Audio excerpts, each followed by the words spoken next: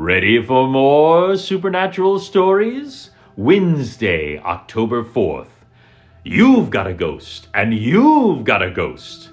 In 1986, a couple went to the Oprah Winfrey Show to share their story of being haunted. A month after moving into their new house, they began to hear a young child crying, but they did not have any children. Soon they started seeing the ghost of a little boy wandering their upstairs hallway. Though they claimed to be unafraid of the ghost because it said it wouldn't harm them, the couple had a mass performed in the house to move the spirit out.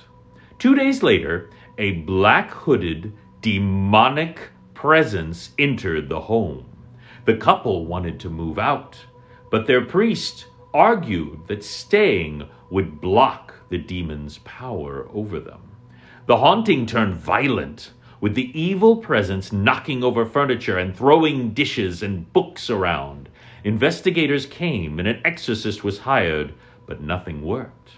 In the end, the couple moved out. Because who needs to fight with a demon?